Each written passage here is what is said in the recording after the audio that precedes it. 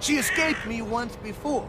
As long as she exists, so do the others. But if she can be destroyed... Uh, destroyed? Did you say destroyed? word. Like hurt? Yeah, destroyed. Uh, there's one small problem there, Clark. Yeah, Mr. Conductor's coming, and he won't let you destroy. Uh, he won't let you. I can do whatever I want. I'll get him, too. With pitch.